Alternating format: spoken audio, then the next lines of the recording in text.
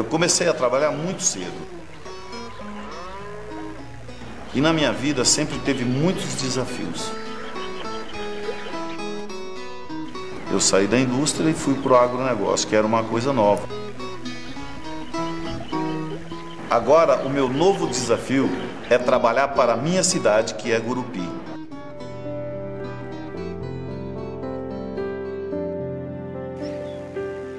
A minha vida toda foi cuidar de pessoas, desde menina, que eu gosto de, de estar no meio do povo.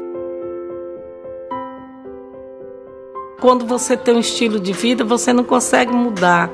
Então, eu, vai ser sempre assim.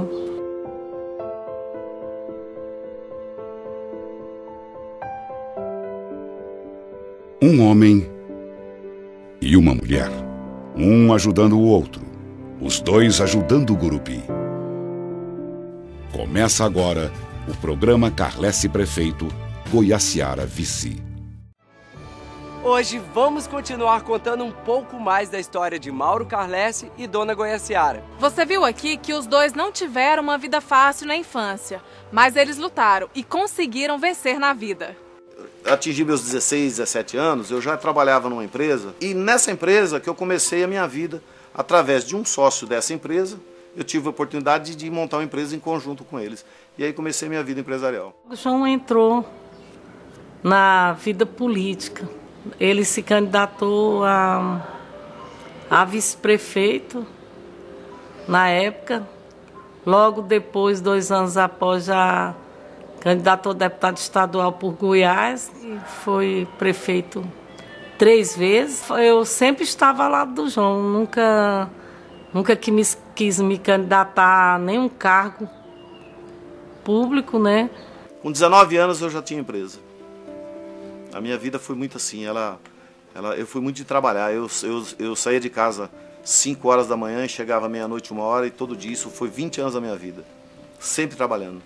Mas após a morte do João, eu, eu senti a necessidade, porque eu estava sempre, é, sempre com minhas portas abertas, sempre a minha vida toda foi cuidar de pessoas. Então, por isso que eu senti a necessidade de, de estar um, mais à frente, é, pleiteando um cargo público. Mauro Carlesse chegou na região há 12 anos comprando terras para produzir. Comprou duas fazendas na região sul e escolheu Gurupi para viver. Há seis anos ele mora em Gurupi, onde concentra seus negócios. Aqui ele faz as compras para suas empresas e dá emprego para muita gente. Foi presidente do Sindicato Rural de Gurupi e realizou este ano a maior pecuária da história da cidade. Deixou o sindicato para se candidatar a prefeito, incentivado por pessoas que querem o bem de Gurupi.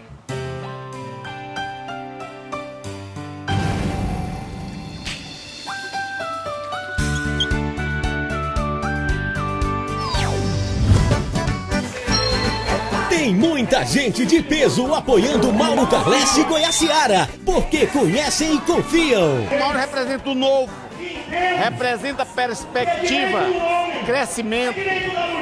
Eu estou apoiando o Mauro por entender que ele fará de Gurupi uma bela cidade com uma grande administração. Alguém olha no olho da gente, por isso é diferente e só quer trabalhar. Ele chegou ao estado Tocantins, investiu nessa terra abençoada, comprando aqui fazendas, gerando emprego, gerando renda e trazendo benefícios para a nossa cidade. E tem pessoas, Mauro, que ainda me chamam de desconhecido, que me chamam de estranho. Estranho, Mauro. É político de mandato velho, que veio aqui levar os votos nessa eleição e esquecer de trazer obras para o É menos política e mais trabalho, ele vem pra fazer a transformação.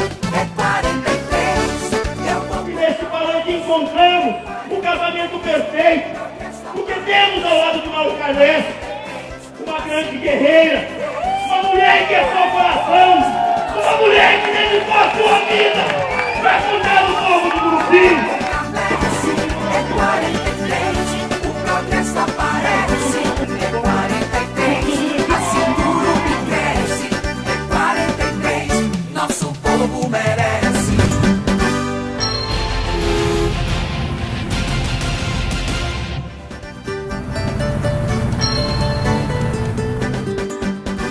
Agora, vamos falar de propostas? O Mauro Carles quer sacudir a economia dessa cidade. Como empresário, ele tem ideias para fazer o dinheiro circular. Afinal, é isso que a cidade precisa. Aproveitar as oportunidades das ferrovias Norte-Sul e Leste-Oeste. Vou preparar a cidade para o desenvolvimento que está chegando. Gurupi tem gente competente. Eu vou investir na qualificação profissional dos nossos jovens. Criar o Programa Universitário Empreendedor, o Centro Tecnológico para a Formação de Mão de Obra para as futuras empresas. Reforçar o agronegócio. Mauro é a pessoa certa para fazer Gurupi aproveitar as oportunidades da Ferrovia Norte-Sul e da Ferrovia Leste-Oeste. Mas a rodovia, que agora vai ser duplicada, nós temos em Gurupi uma condição muito boa de atrair os investidores, que são as empresas. É, é muito simples de entender. Uma empresa lá em São Paulo que atende norte e nordeste aqui, se ele fazer sua montagem aqui no Gurupi para atender esse pessoal, ele vai economizar em torno de 20 a 30%, que significa o frete de São Paulo até o destino né, que, que, que ele pretende entregar seu produto. Então o Gurupi hoje, logisticamente, é o melhor local de se investir.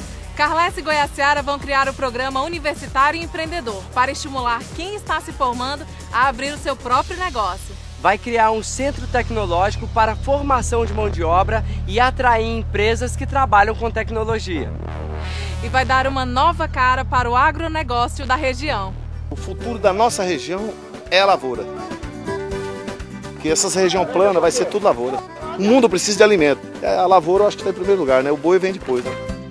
É aquilo que a gente está sempre falando, é a indústria, né? Se a gente não tiver a indústria para aproveitar as matérias-primas, o boi, o couro daqui vai embora. Poderia aproveitar para fazer sapato, todo tipo né, de, de, de, de utilitário que usa o couro, né? E outras coisas mais, que hoje você exporta tudo do boi, 100% praticamente você exporta. Emprego de qualidade permanente. É isso que Gurupi precisa. É isso que Carles vai trazer para Gurupi. Eu acho, acho assim, que todo emprego é bem-vindo. Porém, existem algumas coisas que a gente tem que prestar muita atenção. Tem umas bolhas de emprego que é aquelas obras que chega e vai embora. O emprego permanente, ele vai trazer mais segurança para toda a nossa cidade, para todo o nosso comércio, onde ele gera o imposto, onde ele gera segurança para que as pessoas consigam fazer seus projetos e fazer seus financiamentos. Então eu quero e preciso trazer as indústrias para que a gente tenha o emprego permanente. Pergunte ao Mauro, pergunte o que quiser. A minha pergunta para o seu Carles é se ele é casado, solteiro. Ô, dona Melinda, eu sou um homem que fui muito feliz na minha vida no meu casamento. Tive duas filhas que foi um presente de Deus. O meu casamento foi um dos casamentos que eu vivi 20 anos com uma pessoa, mas infelizmente o tempo é uma coisa que vai se desgastando. E hoje eu estou separado, em processo de separação, mas espero que no futuro eu tenha uma nova família e que Deus me ilumine como eu fui iluminado no primeiro. O seu nome é trabalho, é renovação. Ele vem com Carles e Goiaciara estão juntos nas reuniões, nas caminhadas e nos comícios. Milhares de pessoas estão ouvindo novas ideias e novas propostas para fazer a transformação, com menos política e mais trabalho. E hoje à noite tem grande comício no setor Pedroso, próximo ao posto de saúde, com presença de Cátia Abreu e várias lideranças políticas do Tocantins. Participe! 43, nosso povo merece.